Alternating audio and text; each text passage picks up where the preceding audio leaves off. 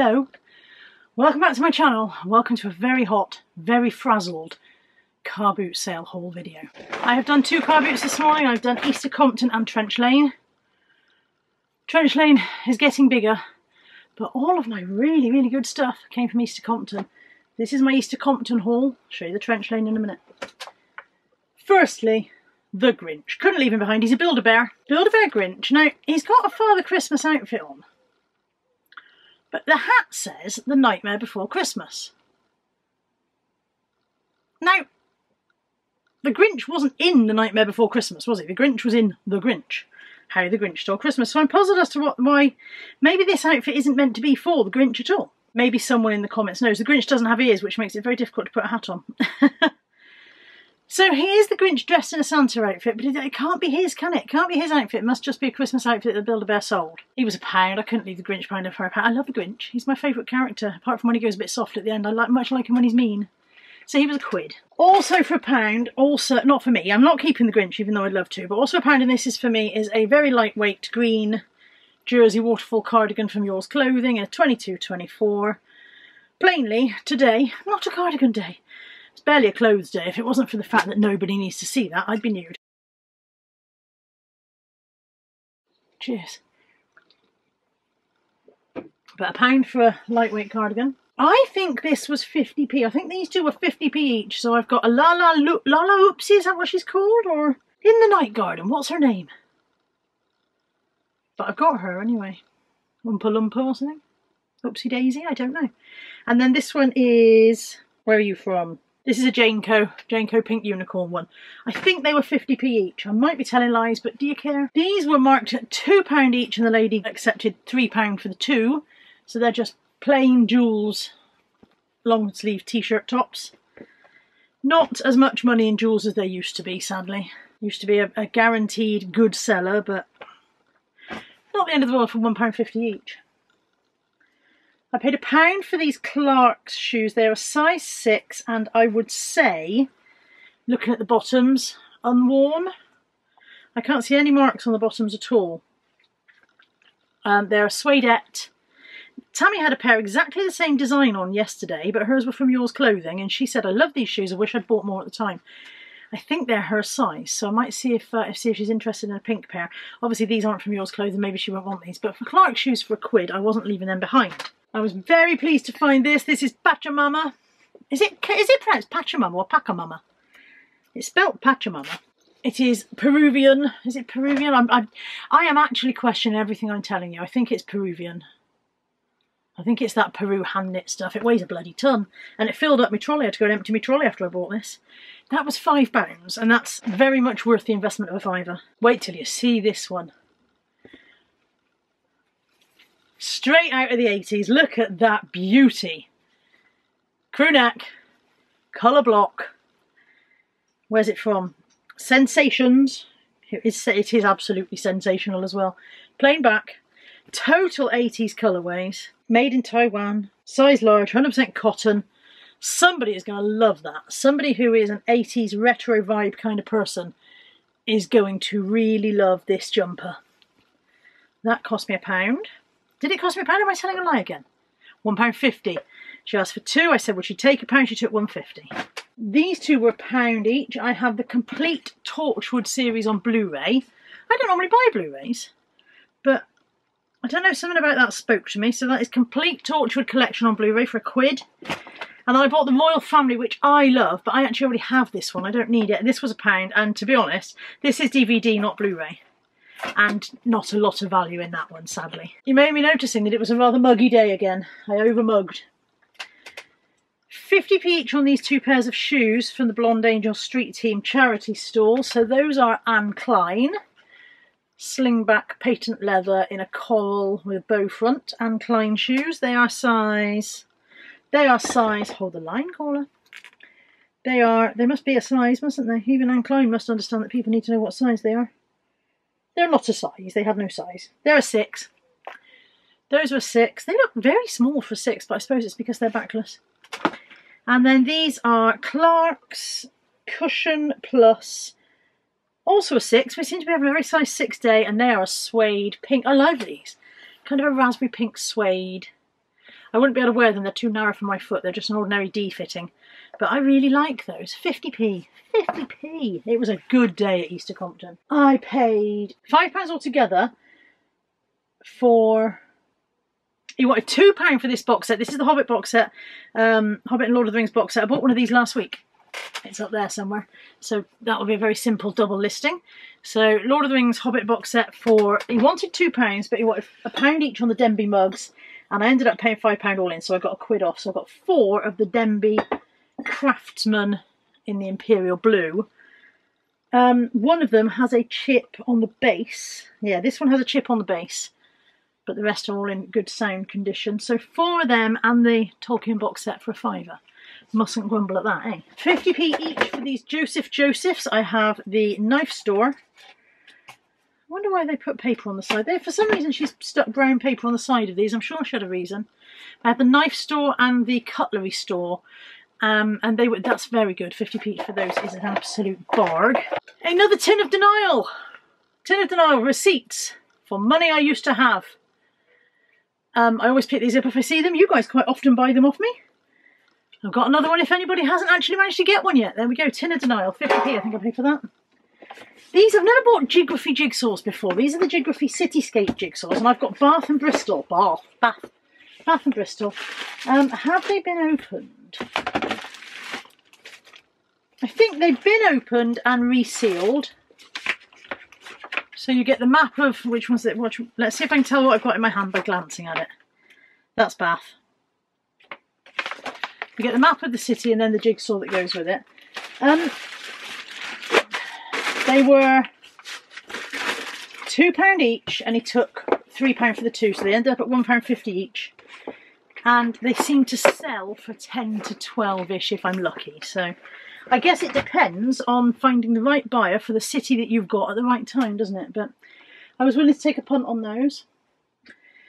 50p each for these two mugs. I've got Kermit, I've definitely had this one before, and then there's a Nightmare Before Christmas Jack Skellington one. So they were a lovely find for 50p. This dress cost me £3. Now, it is a dress and shrug combo. It's quite nice. It's Marks & Spencer. It's a satin dress satin shift dress with a V-back. Is that a V? No, it's a V-neck, not back. I'm looking at the wrong side of it. Satin shift dress with a V-back, fit and flare kind of style. It's not a shift if it's fit and flare, is it? Don't listen to me. But I wanted this. And actually, on, re on reflection, I thought I wanted this, but actually I didn't want a pink one, I wanted a black one. So this is just the shrug that was over the top, and that's definitely my size. Definitely big enough to fit me, because these shrugs just stretch on and on, luckily. But um, but yeah, it was £3 for the dress and the shrug and I just didn't want to split them.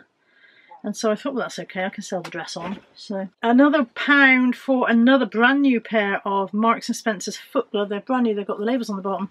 Foot glove sandals in a kind of a metallic bronzy beige. Beige? Is beige? Is beige? We make up beige. Beige is a lovely word.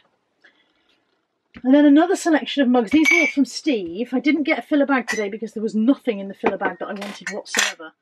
But I did buy a bag of wool for my mother from him for three quid. It's in the car. It's a really big bag of wool, like half a black sack full. She won't be pleased. She'll be like, more wool, what am I going to do with it all? Knit stuff. Um, these are the Leonardo collection Rennie Mackintosh style mugs. I have four of the blue and then this random one purple one. And I gave him £6 for all of these mugs. And then there's two Queens by Churchill ones. Fruit and tea time, I think I've got. Time for tea, sorry. Time for tea and juice, they're called. So, yeah, two of those. And five of the Leonardo Rennie Mackintosh ones. 20p for this little Coca-Cola tin. I have absolutely no need of it whatsoever. It's got a window in the side. It's not a money box because there's no hole in the lid. So it's just a little storage tin. Don't need it. 20p, liked it, bought it. I paid £2 for this little box of watercolour paints. They're all used. But I did surprisingly well selling used tubes of paint before because there's still plenty in them and paint is flipping expensive if you are doing art at university and they're all Winsor & Newton so they're all a good brand so I thought that was worth two quid on them take a punt on that for two quid and then this was this is my favourite lady today this was the very first stall as I went in everything was 20p except the DVDs which were four for a pound so they were only 25p and from that lady I got There was another one of those. Another... Do you know that that in the night garden comforter that was from her as well? That was twenty p. I said I think it was fifty p. It was twenty p. It was from this lady. So that one that's already gone in. I got a little Ed the Duck. His trousers have gone. The elastic's gone in his drawers. Look, so his drawers won't stay up. But he's an Ed the Duck Olympic memorabilia. I don't know when he was released, and he can't keep his pants up. Come on, Edge, Try harder. No idea. No idea what year he's from. I'll have a bit of a research and find out. But there he is, look, Ed the Duck. Was it Ed the Duck who was with Schofe? Was that? No, that was Gordon the Gopher. Where was Ed the Duck? Was he on Going Live or something? Somebody will know. Another 20p for this Russ Trolls night dress case. People do still collect the Trolls dolls, and these go for about 20 to 25 pound on eBay from what I've seen. 20p for that, that was lovely. Four DVDs for a pound. I have four series of medium. I have three, four, five and six. Lord knows what happened to one and two and seven because there are seven series altogether. But four of those, I will sell those individually. Because if they were one, two, three, four, I'd have sold them as a block. But if as, as they're random, I will sell them individually. Definitely run out of space in this bag again. Remember all this was 20p now. 20p for another Lord of the Rings box set. This one doesn't have the Hobbit. This just has the three Lord of the Rings trilogy. Three trilogy, you know what I mean. And then I love these. 20p each for these. And this was the first thing I saw because that was like walking up to my teenage years. The Blue Jeans annual from 1988. I'd have been 15 then. With the photo stories. Do you, oh, do you remember the photo so story serials? Look at the mum. Hang on a second. Look at that mum. That's the fifth most 1950s mum I've ever seen in a 1980s book. Gloves with rings over the top. Look at the fashion.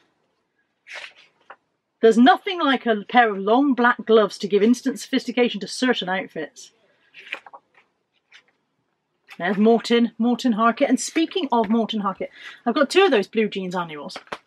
Speaking of Morten Harket, I was a big Aha fan in the, back in the day. I've got the Aha Special. I bought these because somebody is going to want these. Somebody's going. Somebody's going to be an avid collector. Morten Mags and Paul. I've got the Wham Special. I've got the Jason Donovan Special. I've got the GNR Special. Look at Axl there in his youth. Unfortunately, I think he still does that on stage that kind of thing. I think he still does it on stage, turning up in those clothes. Comes a point when you should not wear those anymore, love. Yeah. Now this one is not to sell. This one I'm going to send to one of you guys um, because I happen to know that one of my regular viewers is a massive, massive Wet Wet Wet fan. So that's coming out to one of you guys. You know who you are. I'm sure you know who you are. I mean, maybe more than one of you is a massive Wet Wet Wet fan, but one of you is going to be getting this. It's not in perfect condition. It's got um, a split there, but you know, it's what 40 years old? Like that? 1989 30 years old isn't it? 30 33 years old something like that. That's coming out to one of you guys.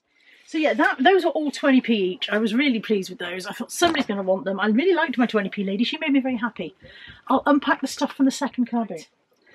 There's very little from the second car boot so it's a tiny haul from trench. And yeah it was a bigger boot today I think part of the thing is by the time I got there I'd already had a really good haul and I'd had breakfast and my heart wasn't in it. Also Anthony had rung to say that he'd broken down in the van so I was kind of half honest thinking I might have to dash off somewhere and help him if he couldn't get someone to recover the van for him. So my heart wasn't really in the buying by then but I still got some good bits. I got this hammer, big box of beads and four boards for £1.50 so that was nice strange. It was um the chap who was selling it. He's obviously used to trying to upsell and sell extra things as well because he then started to offer me other things that were not remotely in relation to the hammer, nothing like it. A big cardboard N. Would I like a big cardboard M? No, I don't need a big cardboard M. Thank you. I'm fine for that. But still, you know, fair play to him for trying. One pound for a boggle. Nice vintage boggle. Hopefully all there. Is the timer there? Are you there? Yeah, the timer's there as well. Even some score paper in there. Boggle for a quid. 50p for another Queen's mug. Another Queen's by Churchill mug. And this one is reindeer. It's a Christmas one. No idea about any value. I just liked it. Liked it, bought it. Saw that, liked it, bought that. Uh, I think I paid a pound for this. Now, I just showed you this receipt tin a second ago, didn't I? The company's called On The Bright Side, or The Bright Side, called The Bright Side, and I got a sweets tin. Never seen this one before. It says on the top, treat your body like a temple. A temple with sweets in it. And then it says sweets all around the side. Just thought that was nice. Maybe somebody will want that. Maybe somebody will want it. 50 each for these three comforters. I've got Thomas the Tank Engine. He needs to go in the wash. He's got a grubby, grubby mark on the back of him. In fact, I think they might all have a wash because they're all a little bit grubster. Um, this is a Rainbow Designs Winnie the Pooh one. And this other Winnie the Pooh one, I think, is Primark. It is Disney Baby at Primark, another Winnie the Pooh one. 50p each for those three. Pound for this dress. It was marked at £2 and I offered her a quid and she said yes. It might fit me, it might not. It's an Anya Madsen 22, so it might fit me depending on how much it goes out at the waist, because I definitely go out further on the bottom half.